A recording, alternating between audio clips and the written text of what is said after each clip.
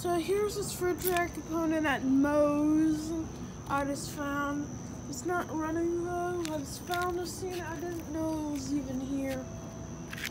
And those where the formal two hiles ICP and the train were. Yeah, I just found this here. Gotta be careful here because there's a glass here. But yeah, here's that.